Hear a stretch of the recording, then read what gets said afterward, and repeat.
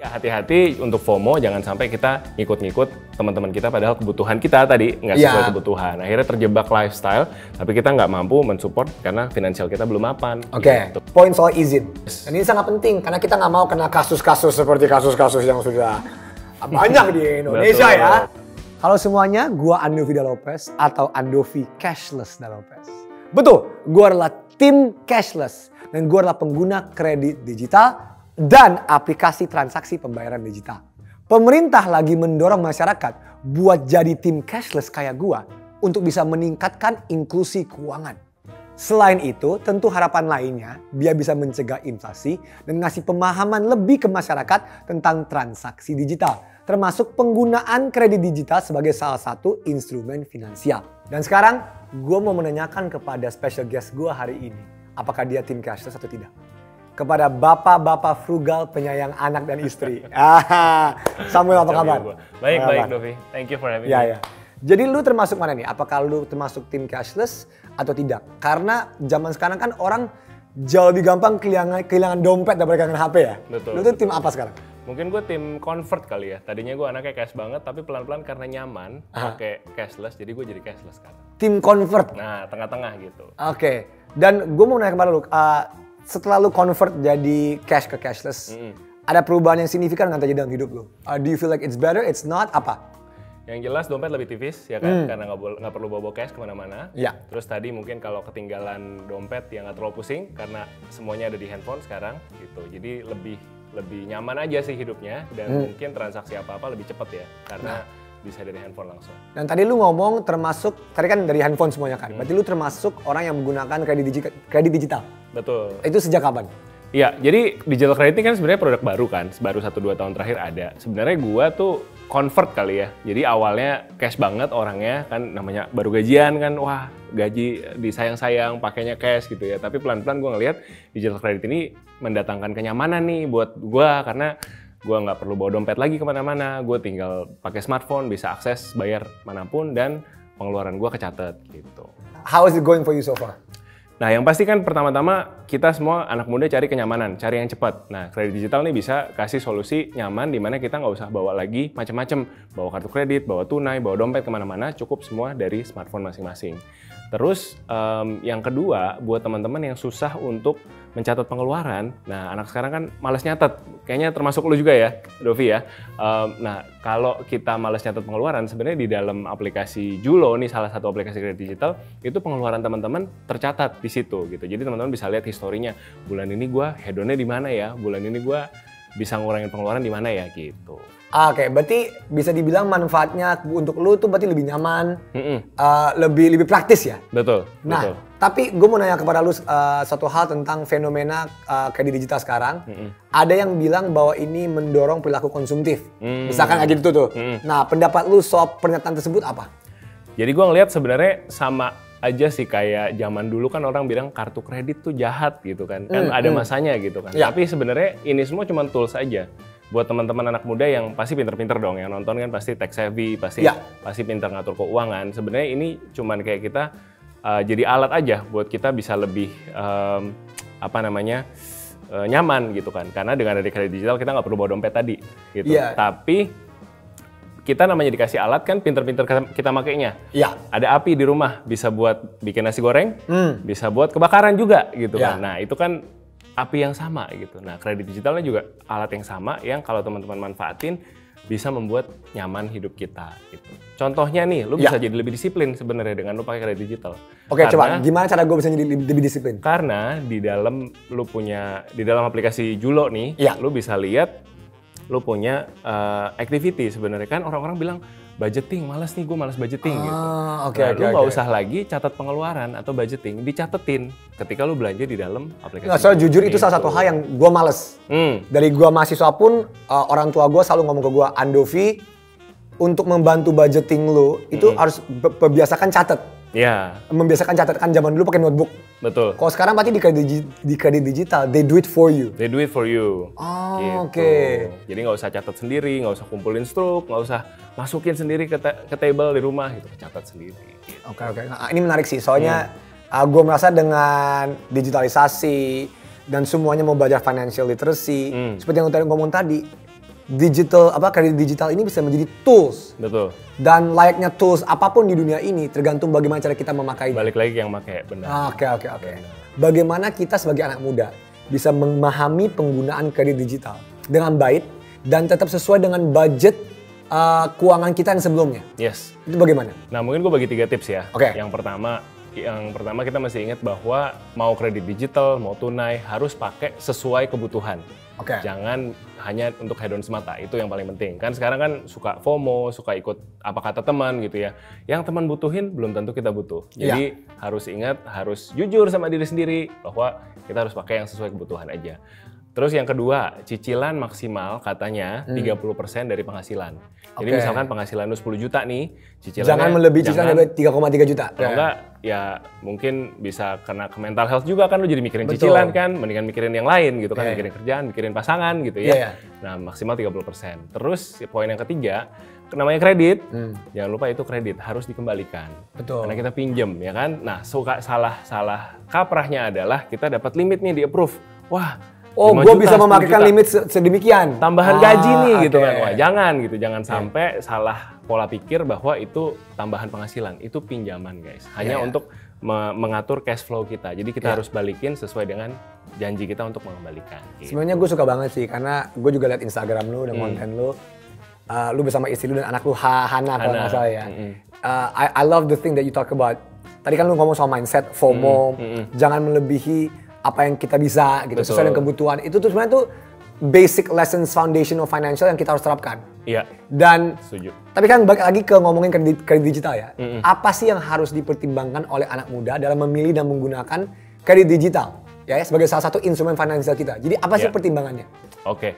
Yang pertama, sebenarnya kita ada di negara Kesatuan Republik Indonesia yang sayang dan melindungi masyarakat nih sebenarnya. Karena kita punya namanya eh, lembaga otoritas gitu ya yang sudah memberikan segala aturannya untuk sebuah perusahaan kredit digital bisa beroperasi gitu. Ya. Jadi cari yang pasti-pasti aja. Cari yang udah punya izin karena ini penting bukan cuma soal uang teman-teman tapi juga soal data safety. Betul. Data bocor di mana-mana kan lagi banyak ngomongin kan. Nah, cari yang sudah berizin supaya data teman-teman aman.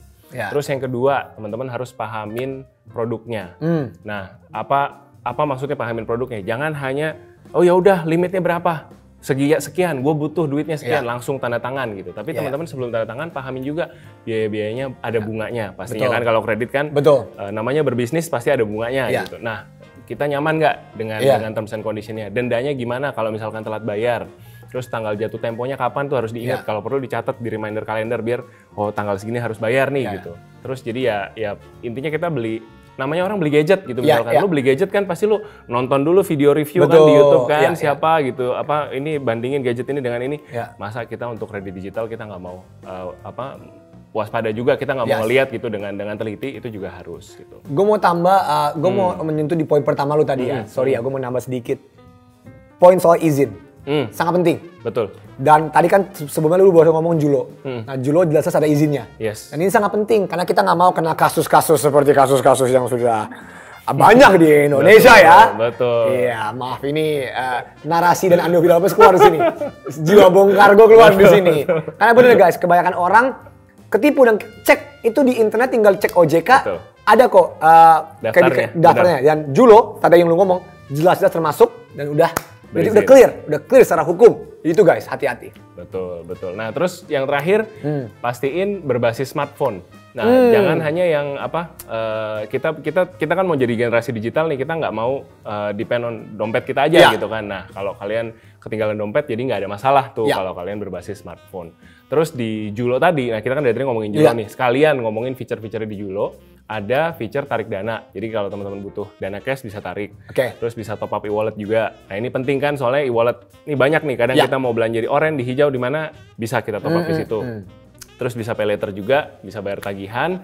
Eh, pokoknya Julo itu bikin kita siap melesat hidupkan hidupmu. Oh, jadi apa-apa siap ya? Apa-apa siap melesat. melesat. Siap melesat. Itu dia. Itu. Nah, ngomong-ngomong soal anak muda nih, anak muda kan selalu ngomongin soal bisnis, bisnis, bisnis. Nah, menurut lu menggunakan kredit digital itu hal yang baik nggak sebagai modal untuk membangun sebuah bisnis? Sebenarnya kan bisnis gue bukan pebisnis sih ya, tapi Oke. dengar-dengar dari teman-teman yang berbisnis katanya kalau mau berkembang bisnis itu butuh modal. Hmm. Modal dari mana? Ya kalau punya keluarga mungkin bisa pinjam dari keluarga atau Hmm. teman, tapi juga banyak dari pebisnis yang pilih kredit digital atau atau pinjam nih. Ternyata kayak digital, orang lain. jujur ini satu hal yang gua nggak tahu. Hmm. Ternyata di digital bisa kasih modal juga ya? Bisa, bisa. Ah, Jadi oke. sebenarnya ya memajukan UMKM, memajukan industri kecil juga bisa gitu Oke. lewat kredit digital. Nggak cuma tadi kita ya konsumtif untuk sehari-hari, tapi juga bisa untuk membangun bisnis. Nah, Oke. Cuman balik lagi sama kayak lu harus mindful kan sama Ya. expense lu sendiri, berapa yang lu Hmm. keluarin sesuai kebutuhan nggak. Nah, seorang pebisnis juga selama penuh perencanaan dan nggak sembrono, dia juga bisa banget dia manfaatin kredit digital untuk membangun bisnisnya. Karena balik lagi kredit itu kan instrumen keuangan ya. Tadi Ya. kan kita ngomong ya api Ya. ya, api di dapur gitu ya. Bisa membakar, bisa menjadi nasi Ya. goreng, harus dimanfaatin baik-baik. Kalau kita manfaatin dengan bijak, kita bisa maksimalin kondisi finansial seseorang. Ini side note nih, Ya. 70% pengguna Julo kredit digital sebenarnya menggunakan limit kredit mereka untuk keperluan positif loh. Jadi Oke. untuk salah satunya modal usaha gitu. Bukan untuk hal-hal yang nggak penting Nah. seperti bayarin pacarnya makan yang lebih dari keperluannya. Nah, betul. Gue nggak bilang kau bayarin pacar makan salah ada, ya. ada yang tersindir mungkin ya. Ya, bukan, maksudnya Jangan kalau- ditutup ya videonya. Kalau berlebihan misalnya, lu boleh bayaran pacar lu makan, Iya. tapi jangan sesuai dengan itu. Sekali-sekali dibayarin juga mungkin. Ya, sekali-kali Kan equality. emansipasi ya. 2022. Ah, ah, Ah, itu dia.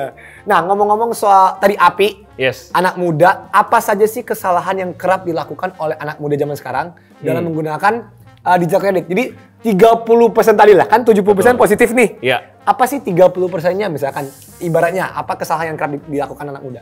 Oke, mungkin satu aja kali ya. yang Satu aja. Sekalian kita ngingetin teman-teman. Tadi sebenarnya kita udah bahas soal FOMO. Ya, Nah, sekarang tuh generasi kita tuh, generasi kita mungkin ya kita milenial. kita Uh, milenial ya. Dan adik-adik kita mungkin. Ya, adik-adik kita. Karena gue 94, uh, Gen Z tuh 96 ke bawah. Betul. Gue masih selu. Se- sekita ya? Iya, oke, Oke, oke lah, oke lah. Nah, em, kesalahannya apa yang terjadi? Em, kita tuh FOMO gitu, karena kita lihat teman-teman kita kayaknya, kayaknya udah sukses, Iya, kayaknya habis ganti mobil, kayaknya Itu itu bohong semua sih. Nah, belum tentu gitu. kan. Betul. gitu. Jadi ya hati-hati untuk FOMO, jangan sampai kita ngikut-ngikut teman-teman kita padahal kebutuhan kita tadi nggak sesuai Iya. kebutuhan. Akhirnya terjebak lifestyle, tapi kita nggak mampu mensupport karena finansial kita belum mapan. Oke. Gitu. Oke, kita ngomong saat tadi soal jangan FOMO, Mm-mm. kebutuhan kita. Nah, sebagai orang yang jelas-jelas uh, financial planner bisa dibilang bukan sebenarnya bukan Mm. financial planner tapi lu orang yang mengajarkan orang-orang untuk mindsetnya bagus, frugal living, Mm. jangan FOMO. Apa sih saran yang paling mudah untuk dilakukan untuk be smart and be mindful dengan financial planning yang kita serapkan sehari-hari gitu? Jadi em, paling paling paling simpel adalah Iya. gini, percaya sama proses.